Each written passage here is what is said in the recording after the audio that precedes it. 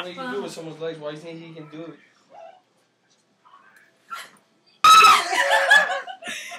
I'm standing in the same noise.